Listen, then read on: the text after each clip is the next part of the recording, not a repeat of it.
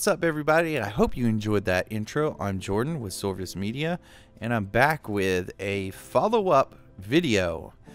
If anybody who has watched my channel before, you know it's new, and I uploaded a couple videos, and then it's been a while. Um, as of right now, it is August 10th, 2020, and we all know there has been a lot of things going on this year. So, I just wanted to kind of make this video because um, I know that some I know that some of you guys have been I won't say some, a lot of you guys probably have been effective creatively due to everything that's going on in the world right now and I just wanted to let you guys know you're not alone. Happened to me. Um, I live in Florida and we got put on a stay at home order in April, and I kind of had to move all my stuff out of my office.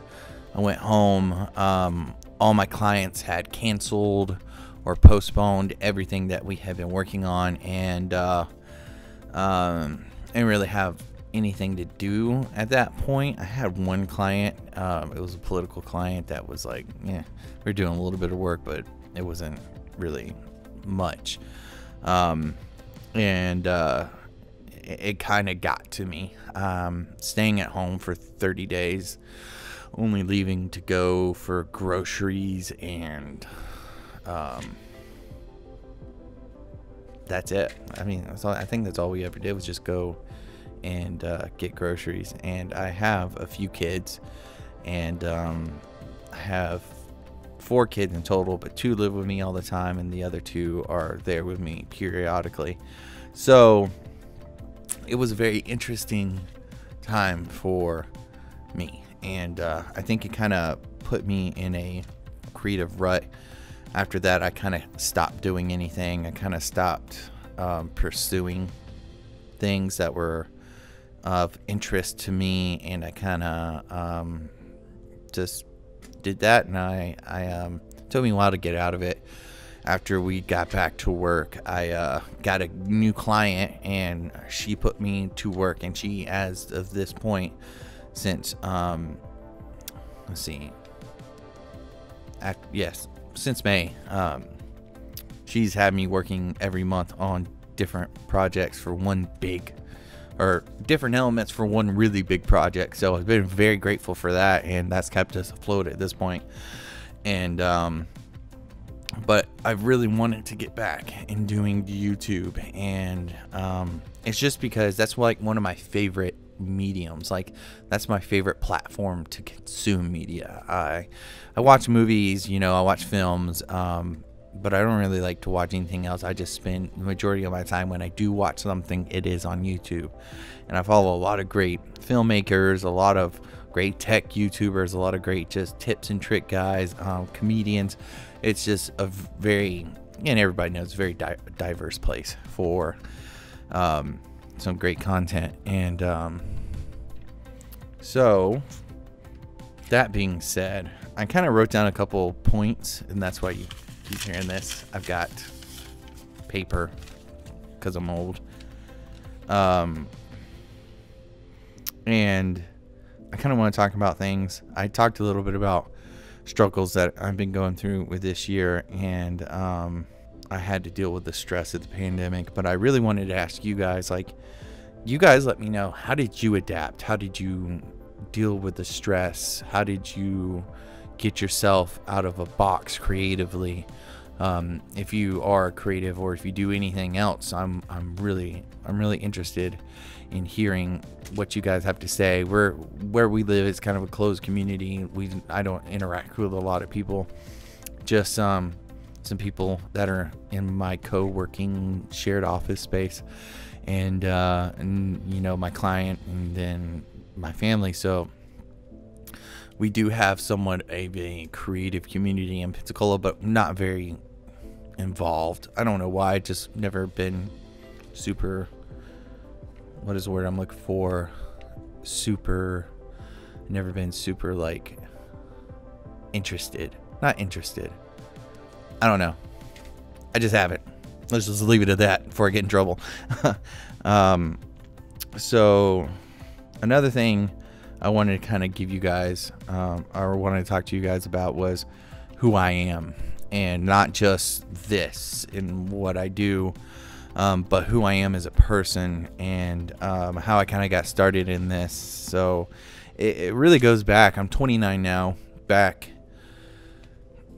I'm 29 now, and I got my hands on my first professional camera at the age of 13, and they were old, like DV, big cassette tape um, broadcast cameras. I don't even know what they were. I can't even remember. Um, I worked for WSRE, um, PBS, Channel 23 here locally, and I was an intern. I got hired on shortly after at 15 hours a week, like 9.50 an hour, which was big money back then for me. And uh, uh, I got to do like just random things like telethons, and I used to follow around. I used to be the cameraman for this. Um, what was this? It was like this doctor in town, and he went and talked about trees and old stumps. It was not very interesting, but I was just his out in the field camera op. I would go and film the b-roll for his actual show i did some crawfish festival um, coverage and uh, i think a cooking show yeah i can't remember but not very much but i absolutely loved it um, it was weird being 13 and everyone else around me was like adults and you know it was it was it was super like it called to me. It was like this is this is really cool. Like even though it was such low level, being a local PBS station, I, I absolutely loved it. Um, and then after that, my parents got me like a little DV. I don't know, this little like camcorder. I got this book from Barnes and Noble in the days when we used to have to get books to learn anything.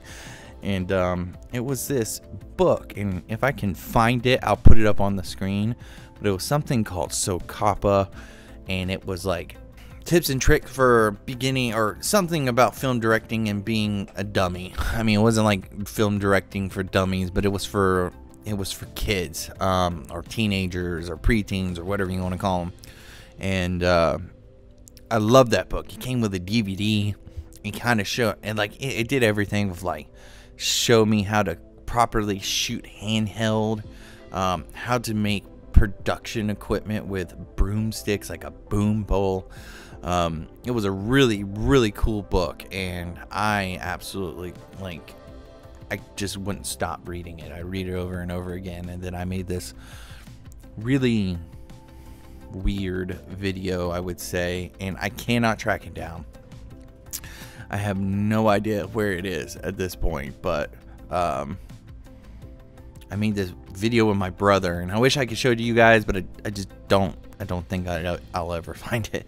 And me and my brother was just basically like sword fighting in with wooden swords, and he, no, like I had a wooden sword, and he had a broomstick. No, it wasn't a broomstick. What was it?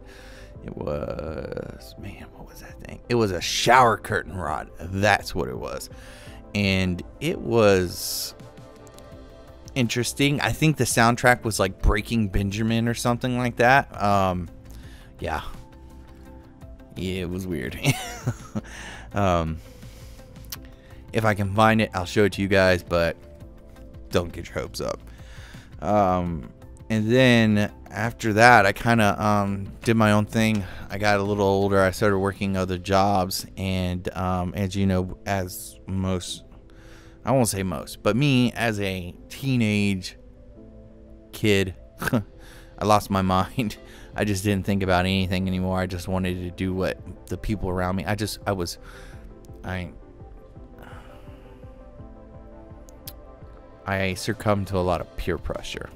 Um, that constantly got me in trouble, and my parents didn't like it at all. So um, then, around the age of 17, um, I went away for a while, and I did some did some stuff. Maybe one day we'll talk about, and, but not in today's video. And um, I just I just I left my parents' house at 17, and it was a it was a really tough thing. I at the time was the most amazing thing, but I regret it. Um, and it took me a while. It took me into basically my 20s, um, marriage, two marriages, and all this other stuff to kind of get me back to where I wanted to be. And, um, but anyways, since I said I regret that, it's a good segue into my next um, point is what do I regret? Um, what do what do I think I could do better in the future? I one thing I regret is being worried about what I have is what is going to produce a better product. And it's really not. It's not what you have, but what you can do. Um, I've wasted a lot of money and time and getting these things that I just had no, no, how do I say it? I had no business getting. I really didn't need it. I just thought it would make me look my stuff, make my stuff look better and cooler and higher resolution, which really didn't do anything. And right now, as you saw that beginning intro, I actually am filming right now on the Blackmagic Pocket Cinema 4K. This is the second one that I've had, and I absolutely love this thing, and uh, it's my favorite camera I've ever used.